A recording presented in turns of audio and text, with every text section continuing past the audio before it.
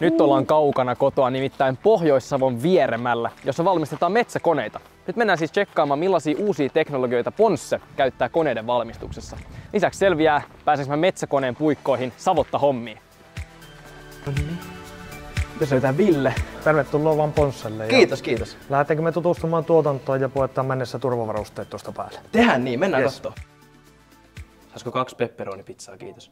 Hei, mä en kuule itse. Mä oon jotenkin niin valmis nyt kaatamaan niin kuin metsää. No niin, nyt ollaan täällä tuotekehityksen puolella menossa. Ei vitsi, että onks tää niinku, hei, onks tää niinku tän toimisto jotenkin lemmikki tai jotain? Mä huomasin ton heti. Tää on meidän ponssakoira, minkä mukaan koko firma on saanut nimensä. Ai kato, perustaja. Mitä sä teet täällä? Mä, mä oon Evelina ja mä oon hydrauliikkasuunnittelijana täällä Ponssella. Ja tässä katselen nyt näitä hydraulikaavioita tällä hetkellä, mutta sen lisäksi uustuoteprojekteissa on kaikenlaista komponenttia, mitoitusta ja valintaa, tehdassäätöjä ja kaikkea tämmöisiä. Eli tuotteesta suunnitellaan yleensä ensin digitaalinen malli, jonka pohjalta fyysinen tuote sitten valmistetaan automaattisesti.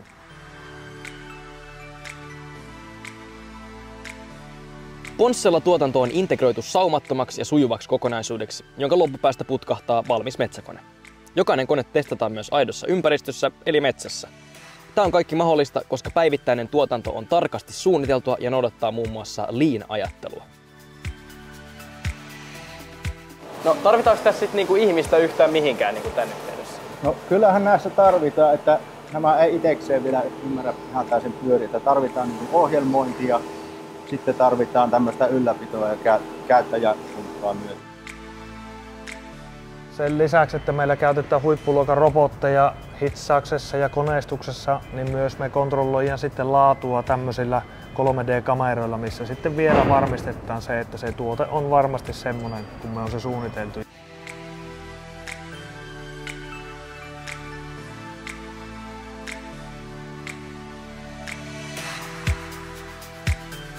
Siihen vaan istumaan Okei. ja Tää on niinku ylös alas. Jos me painaan vaan kaikki yhtä aikaa. Apua. nyt, nyt on kääntynyt tälleen. Menikö tää rikki? Ei. Mun tavoite on nyt kaataa tää yksi puu. Mitä mä teen? joo, nyt se Mä en nyt siis saanut tätä puuta kaadettua. Niin mä saan nyt jonkun tämmöisen ammattilaisen tänne auttaa mua, että miten mä saan tän. Kato! Mä sain sen puun kaadettua. kevyesti nostetaan pikkasen ylöspäin. Noin. Ja jes. Puu on kaadettu. Kiitos. Kiitos avusta. Toiseen suuntaan. Toiseen Ai suuntaan. apua. Ei musta kyllä ehkä ihan metsuria tuu, mutta mut tosi hienoja koneet täällä kyllä tehdään. Mut millaiselle koulutukselle näihin hommiin vois päästä? No hei, mennään kattoo. Nyt ollaan täällä Micro Streetillä Kuopiossa ja nyt selvii, miten Savonian ammattikorkeakoulussa opetellaan näitä valmistusteknologiaan liittyviä asioita. Esimerkkejä näistä teknologioista on vaikkapa 3D-tulostus, CNC-koneistus, robottihitsaus ja erilaiset automaattiset nosturit. Täällä näkee joku ruuhka aika ehkä näillä on tosi hyviä sämpylöitä tai jotain. Moikka! morjesta. Tervetuloa Savonia Mikrokadukampukseen. Wow, siis onks, onks nää kaikki niinku 3D-tulostettu? Joo, me tehdään aika paljon yhteistyötä tuon viereisen sairaalan kanssa. Ja- Siis mitä, tä- tästä saisi mulle vaikka uuden silmän, jos, jos menee näkö vaikka yhdestä, niin sit voi korvata. No joo, näkö et saa silmän, saat okay. kyllä. No silmä saan, joo, se kelpaa. Mitä sit, niinku, onks nää kaikki niinku muovia? Vai Ei ole, ei ole. Meillä on myös metallitulostus ja sillä saadaan valmistettua huomattavasti tehokkaampia osia, esimerkiksi hydrauliikka. Wow, metallitulostus, okei. Okay. Moi, minä olen Aaron, olen täällä tota, oppimassa teidän oppilaitoksesta kaikkea siistiä.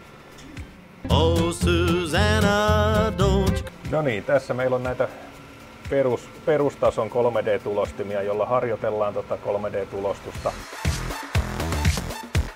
Eli voisiko nämä tulostaa vaikka kengät, Kyllä, sukat, kyllä, auton renkaat, kyllä, koko auton, kyllä, veneen, kyllä, avaruusraketin? kyllä. Aa, okei. Okay. No mutta nyt mä tajun, miksi tää on tulevaisuuden teknologia, että pystyy tehdä vaikka mitä tahansa. Jos saisit tulostaa mitä tahansa, niin miten sä tulostaisit? Varmaan kokeilisin jotkut korkokengät väänteen. Korkokengät, aika kova. Entä sä? Nää aurinkolaiset. Entä sä? No kyllä mä varmaan kokeilisin kengän pohjaa ehkä. Savonian konetekniikan osastolla on kolme suuntautumisvaihtoehtoa. Tuotekehitys, eli esim. metsäkoneiden suunnittelu, sitten tuotantotekniikka, eli niiden valmistaminen, ja sitten mekatroniikka, eli esimerkiksi erilaisten ohjausjärjestelmien suunnittelu. Ja nyt mennään katsomaan, miten nämä kaikki kolme yhdistyy. Eli tietysti minikaivurit. Nämä on ne meidän tuotepohjaisen opetuksen kaivurit. Just, eli harjoitellaanko täällä sitten jotain niin pienoismallin rakentamista vai Joo, ei, ei. Meitä kiinnostaa nämä koneet ja tämä on skaalattu versio oikeasta kaivurista. Siinä on ihan oikea sähköhydraulinen jär- ohjausjärjestelmä, kuten oikeassakin kaivurissa. Eli tämä on vaan pienennetty versio isosta. Tämä on vaan pienempi versio ja nyt meidän tarvii paljon vähemmän ostaa hallitilaa. Hei, oli kiva nähdä. Mä tästä lähenkin. Vitsi, tää on... nyt osuu. Ah! Näin. Ja nyt. Joo. Kato! Yes. Missä sä oot? Mä oon täällä. Si- ää, tota, mitä sä niinku siis teet täällä? Mä oon viimeisen vuoden konetekniikka-opiskelija ja tää on ollut niinku todella mukava valinta mulle. Täällä on päässyt tekemään tosi monipuolisesti hommia, niin kuin esimerkiksi nyt toi kaivuriprojekti tossa. Niin, niin. Teet sä niinku tämmösiä kaivurijuttuja niinku työksessä vai? Mä tein vähän enemmän semmoista niin kuin kylmäkonepuolen 3D-suunnittelua, mutta se on niin kuin hyvin periaatteessa sama asia, että 3D-malleja tehdään. Täällä Savossa käydessä ainakin tuli sellainen fiilis, että jo opiskelun vaiheessa homma on sitä, että päästään rakentamaan ja kokeilemaan ja testaamaan asioita. Eli sitten kun päästään työelämään, niin voi antaa palaa täysille.